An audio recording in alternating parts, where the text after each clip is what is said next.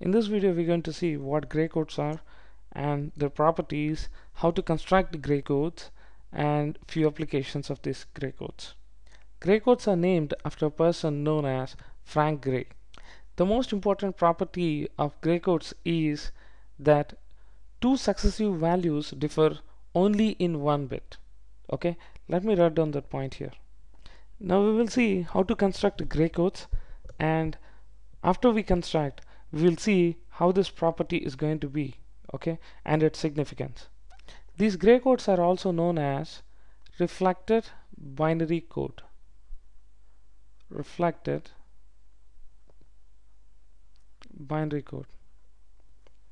The reason why it is called reflected binary code is it's a basic principle by which these gray codes are constructed okay now to start with let us take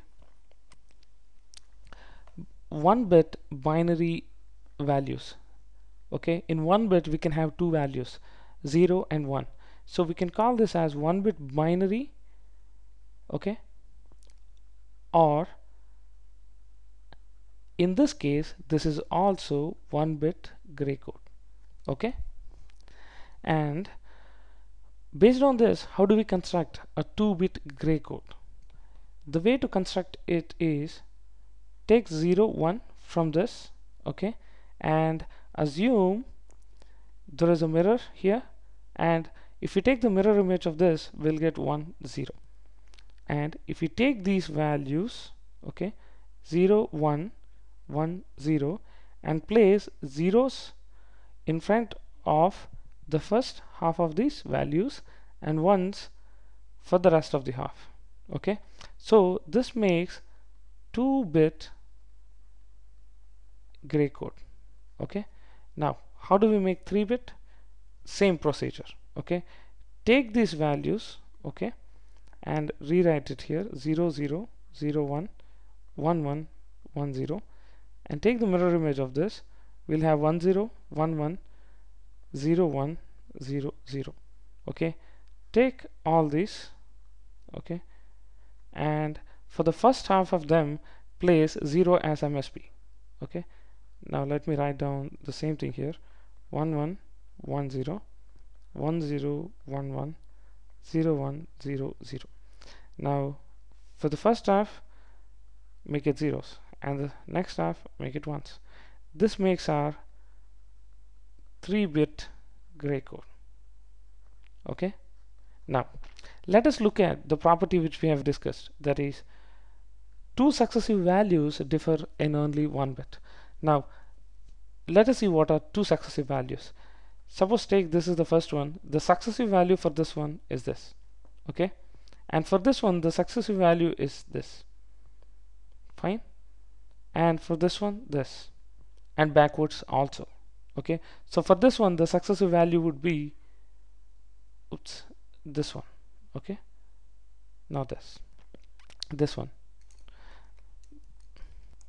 and if you see from the first one to the second one you see only one bit change okay?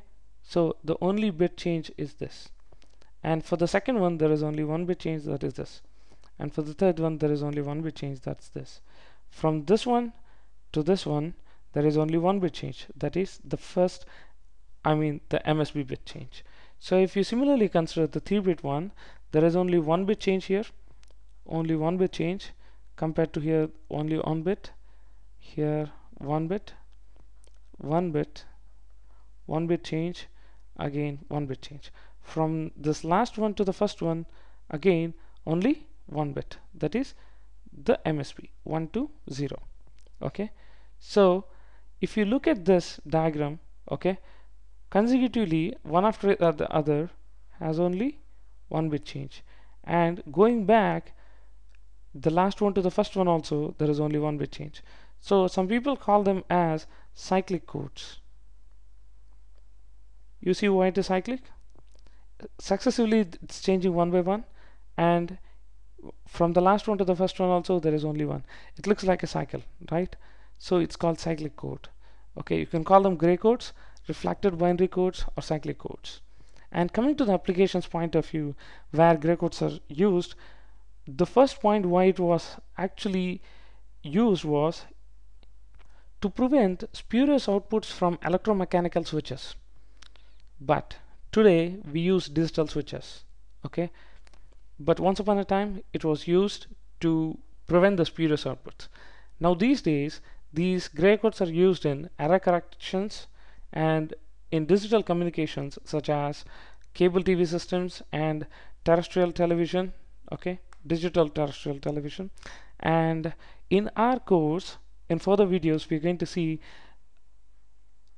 maps known as K-maps. K means Karnaugh maps okay? Karnaugh maps in which we're going to use these gray codes again okay? So we're going to revisit this topic when we discuss Karnaugh maps which is a very important topic in for reducing a logical function okay if you like the video please do subscribe and thanks for watching